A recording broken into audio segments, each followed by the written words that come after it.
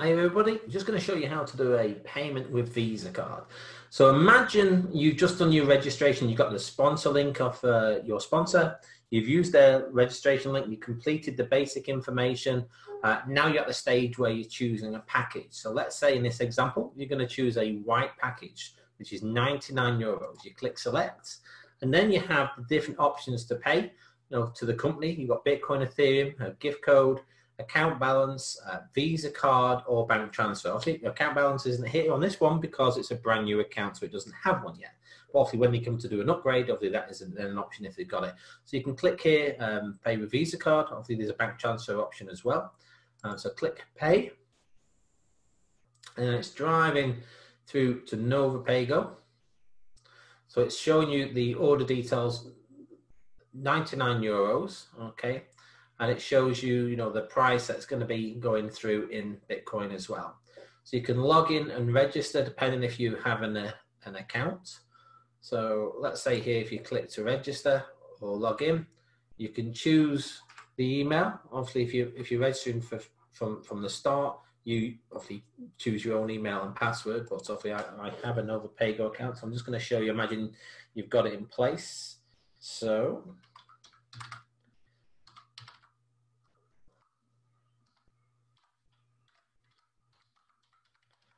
So once you've created your account and register, you, you put in your details.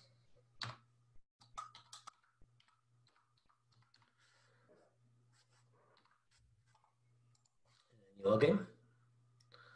And then it's going to send a security code to the email address that you've registered on the account.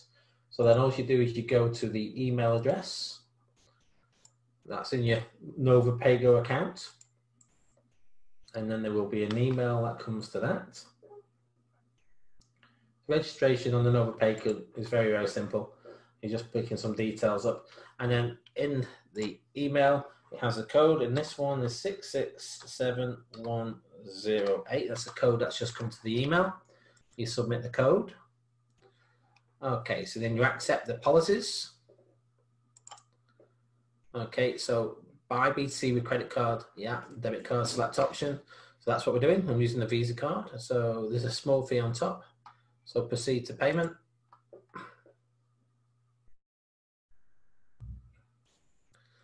Okay, so basically then it's asking for your uh, for your details. So that's the addresses and things like that obviously that, that you link into your system. Uh, so that's what it's going to show on your thing. So So you put your details as per your card, your card number.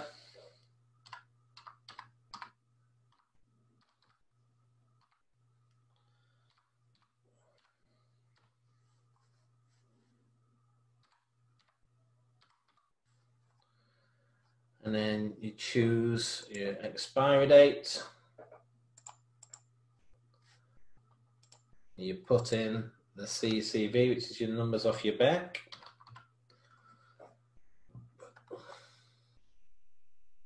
And you click to accept it, yeah. And then you click just to make sure you double check the, the details that match exactly as your card before you proceed. And you click to pay.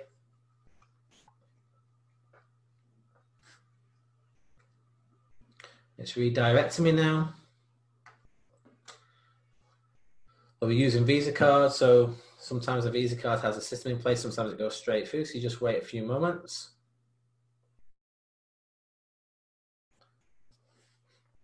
Okay, so that's gone through.